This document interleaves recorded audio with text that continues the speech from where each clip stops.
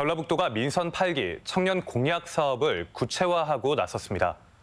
김관용 도지사, 도지사는 오늘 전북도청에서 주식회사 현대 이지웰과 농협, 전북, 하나은행 등세개 은행과 청년 지원 패키지 사업을 위한 업무 협약을 체결했습니다.